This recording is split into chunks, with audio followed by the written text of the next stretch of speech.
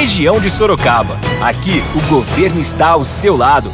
Investir em saúde tem sido prioridade do governo de São Paulo antes mesmo da pandemia.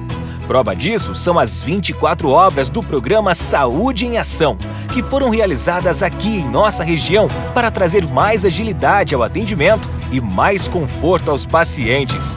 São realizações que vão muito além de tijolo e cimento. Me sinto segura hoje, não tem nem palavras para descrever que é um ótimo atendimento.